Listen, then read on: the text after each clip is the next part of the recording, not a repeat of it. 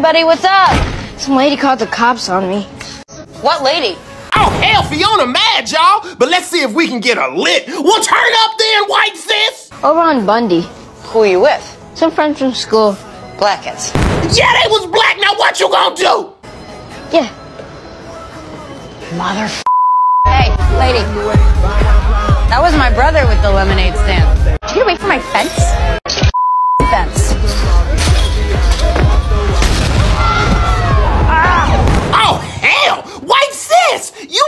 Got your thug certification papers.